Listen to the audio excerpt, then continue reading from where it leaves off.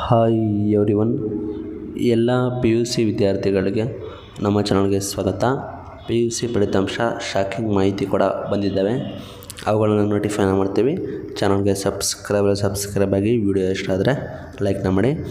ಎರಡು ಸಾವಿರದ ಇಪ್ಪತ್ತ್ಮೂರನೇ ಸಾಲಿನ ಪಿ ಯು ಸಿ ಪರೀಕ್ಷೆ ಯಾವುದೇ ಅಡೆತಡೆ ಇಲ್ಲದೆ ನಡೆದಿದೆ ಅದೇ ರೀತಿ ಮೌಲ್ಯಮಾಪನ ಕೂಡ ಪೂರ್ಣಗೊಂಡಿತ್ತು.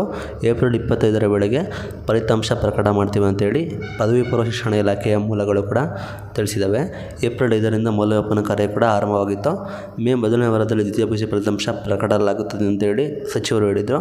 ಆದರೆ ಪೂರಕ ತಯಾರಿ ನಡೆಸಲಾಗಿತ್ತು. ಇದೀಗ ಏಪ್ರಿಲ್ ಮೂರನೇ ವಾರ ಅಂದರೆ ಇದೇ ತಿಂಗಳು ಇಪ್ಪತ್ತೈದರಂದು ಫಲಿತಾಂಶ ಪ್ರಕಟಿಸುವ ಸಾಧ್ಯತೆ ಇದೆ ಅಂತೇಳಿ ಹೇಳಿದ್ದಾರೆ.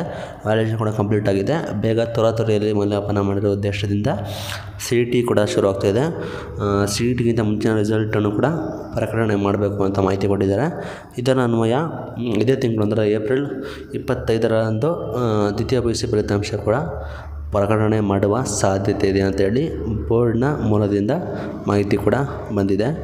ನಂತರ ಮೌಲ ಮೌಲ್ಯಮಾಪನ ಕಾರ್ಯ ಬಹುತೇಕ ಪೂರ್ಣಗೊಂಡಿದ್ದು ಎಲೆಕ್ಷನ್ ಕೂಡ ಕಂಪ್ಲೀಟ್ ಆಗಿತ್ತು ಏಪ್ರಿಲ್ ಮೂರನೇ ವಾರದ ವೇಳೆಗೆ ಫಲಿತಾಂಶ ಪ್ರಕಟಿಸುವ ಸಾಧ್ಯತೆ ಇದೆ ಅಂತೇಳಿ ಕರ್ನಾಟಕ ಶಾಲಾ ಪರೀಕ್ಷೆ ಮತ್ತು ಮೌಲ್ಯಮಾಪಕ ಮಂಡಳಿಯವರು ತಿಳಿಸಿದ್ದಾರೆ. ವ್ಯಾಲ್ಯೂಷನ್ ಕೂಡ ಕಂಪ್ಲೀಟ್ ಆಗಿದೆ. ಮೇ ತರ್ಡ್ ವೀಕ್ ಒಳಗೆ ಫಲಿತಾಂಶ ಎಕ್ಸ್ಪೆಕ್ಟ್ ಮಾಡ್ಬೋದು.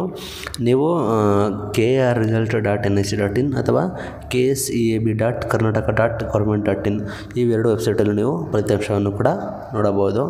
ಈ ಬಾರಿ ಪಿ ಯು ಸಿ ವಾರ್ಷಿಕ ಪರೀಕ್ಷೆಯ ರಾಜ್ಯಾದ್ಯಂತ ಸುಮಾರು ಏಳು ಲಕ್ಷದ ಇಪ್ಪತ್ತಾರು ಸಾವಿರದ ನೂರ ತೊಂಬತ್ತೈದು ವಿದ್ಯಾರ್ಥಿಗಳು ರಿಜಿಸ್ಟ್ರೇಷನ್ ಕೂಡ ಮಾಡ್ಕೊಂಡಿದ್ದಾರೆ. ಸುಮಾರು ಸಾವಿರದ ನೂರ ಒಂಬತ್ತು ಪರೀಕ್ಷಾ ಕೇಂದ್ರಗಳಲ್ಲಿ ಯಾವುದೇ ಅಡೆ ತಡೆ ಇಲ್ಲದೆ ಪರೀಕ್ಷೆ ಕೂಡ ಕಂಪ್ಲೀಟ್ ಆಗಿದೆ ಅಂತ ಹೇಳಿದ್ದಾರೆ.